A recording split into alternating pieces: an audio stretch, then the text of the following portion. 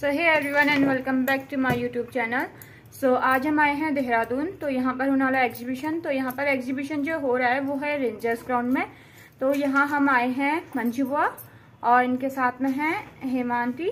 और हम सभी भी जाएँगे और बुआ का जो प्रियूल का वर्क है वो साथ में एपन का और कुछ मचाले दिखाएँगे।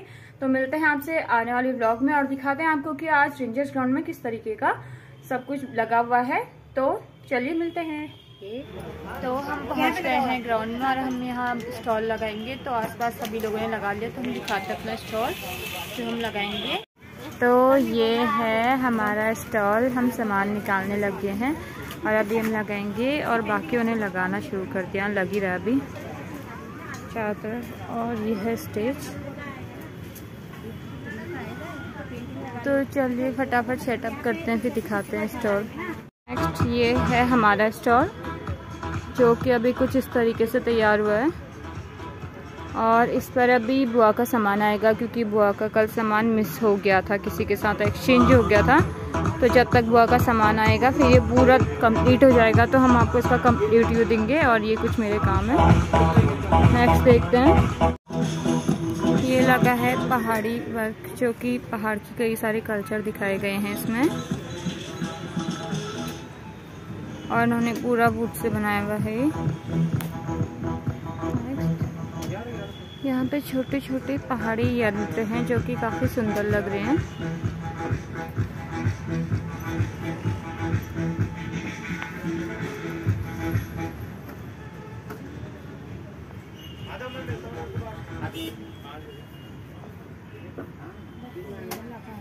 यहाँ पर पहाड़ की जो कपड़े होते हैं, वो दिखाए गए हैं, जो पहाड़ी ड्रेसेस वगैरह होती हैं, पहाड़ी टोपियाँ, कपड़े, घाघरे कोट्स वगैरह।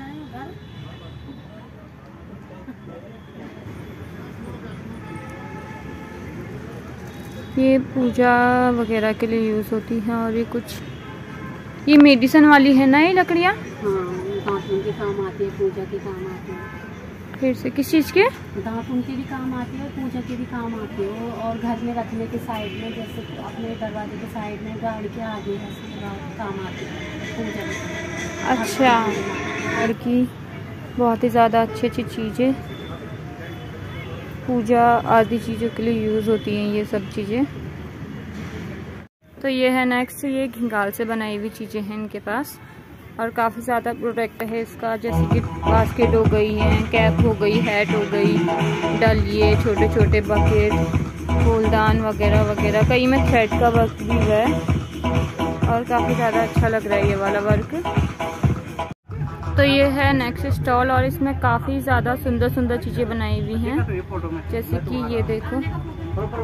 ये है चंद्रवदनी मंदिर और इसमें पूरा बनाया है हर एक चीज़ डिटेलिंग के साथ पूरा। बहुत ही ज़्यादा सुंदर वर्क है। और ये पहाड़ी घर है जो कि बहुत ही अच्छा लग रहा है। देखिए हर एक चीज़ डिटेलिंग में दिखाई है इसमें। चाहे वो का चाहे वो गागल ले जाती हुई औरत हो लकड़ी फाड़ रहा है आदमी कोई बैठा है।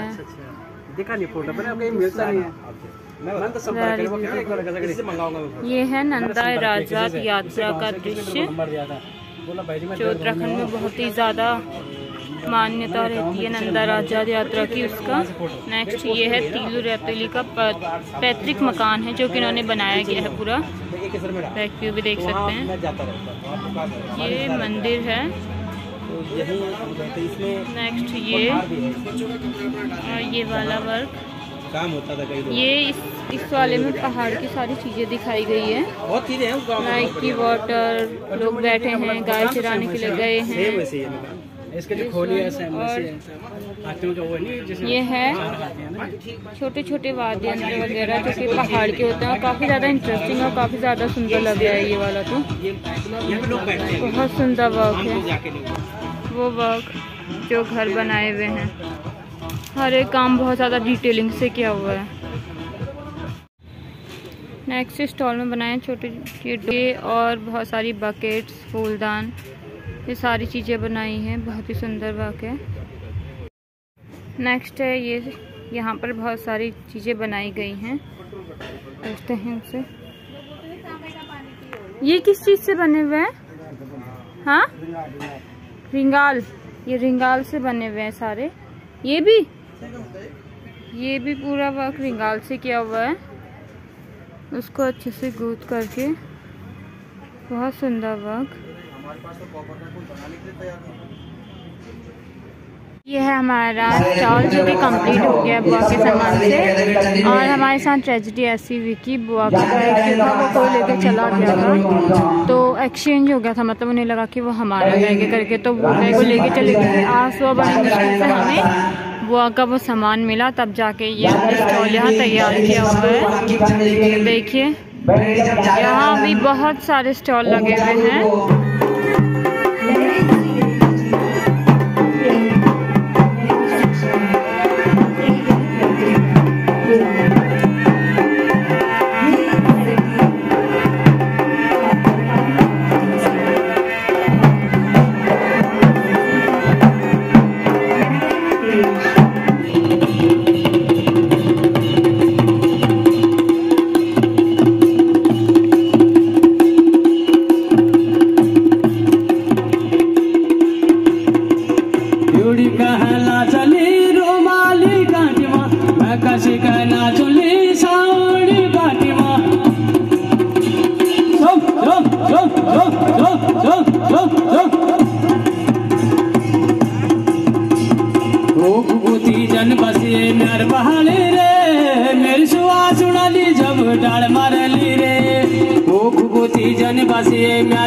मेर रे। मेरी सुआ सुनाली जब डाल मारली रे।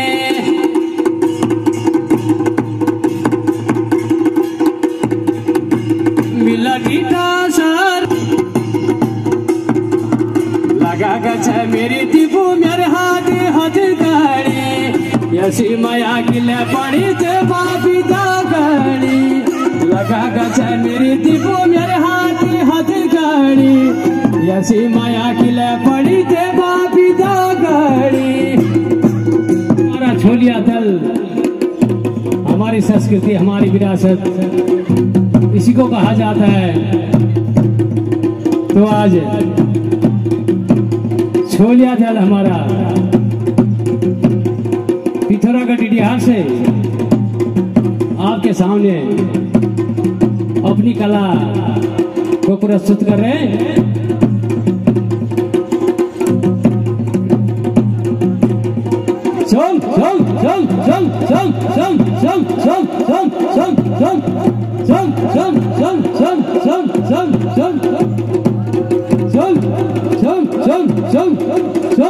जान तो यहाँ पर हमने झूलिया नृत्य की प्रस्तुति। की प्रस्तुति। जो कि बहुत ही अजाना की ताली तन लगनो की छप छपे बहुत ज़्यादा सुंदर प्रदर्शनी की। तो अगला आपको थोड़ी देर में। और यहाँ पर ये नंदा सुनंदा की प्रस्तुति है जो कि देहरादून वाले कर रहे हैं। और ये देहरादून की टीम है और इन्होंने करा है नंदा राजजात यात्रा का, जिसमें कि एक बकरी है, एक उनकी पीठ पर और ये नंदा राजजात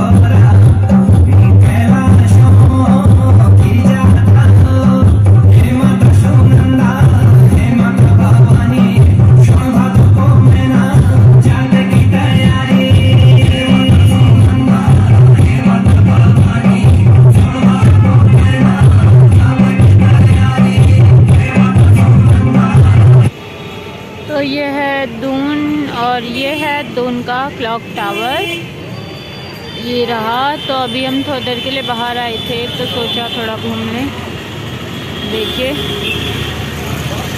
ये क्लॉक टावर शायद बहुत पुराना है, और इसमें बहुत सारी क्लॉक्स बनी हुई हैं।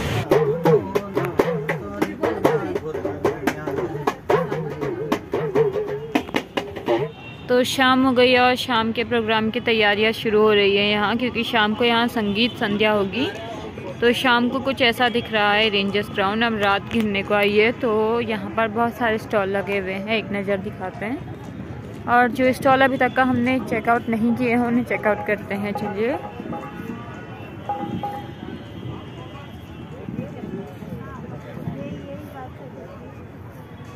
अलग अलग टाइप के अलग अलग बहुत सुंदर सुंदर पहाड़ी कल्चर लेके आए हैं यहाँ लोग, जिसमें कि बहुत सारे एपन वर्क पहाड़ी पिछौड़े। पहाड़ी रिंगाल रिंगाल से बनी हुई चीज़ें और कई अगरबत्ती, धूप पहाड़ी ड्रेसेस पहाड़ी मिठाइयाँ शॉल स्वेटर इस तरीके से बहुत सारी आर्ट आई हुई है यहाँ। देखते हैं हम आगे। और ये है लाठी आर्ट जो कि काफ़ी फ़ेमस है। अभी दिखाएँगे इससे बाद में अगले ब्लॉग में हम। ये रही कुछ पेंटिंग्स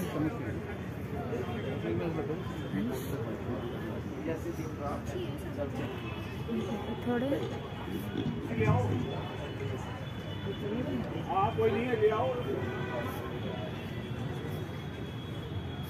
ये आर्ट वर्क नहीं है ना मेरे पास नहीं है अभी आप क्या बेबी चेक कर रहे है? तो यहाँ पर नाइट शो में जो गीत संध्या है, वो शुरू हो गई है। चलिए देखते हैं।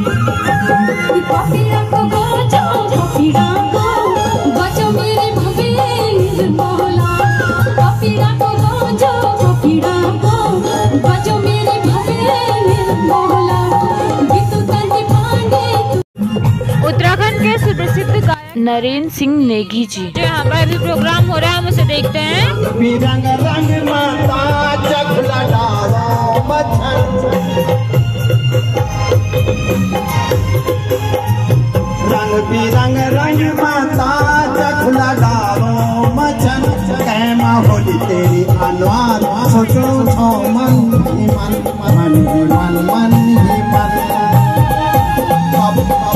पप्पू भुगती बोलो एही राशि बोलो। पप्पू भुगती बोलो एही राशि बोलो बोल। तुई बोल, अब क्या बोलो? बोलो बोल फ्योली बोलो ते बुरास बोलो बोल फ्योली बोलो ते बुरास बोलो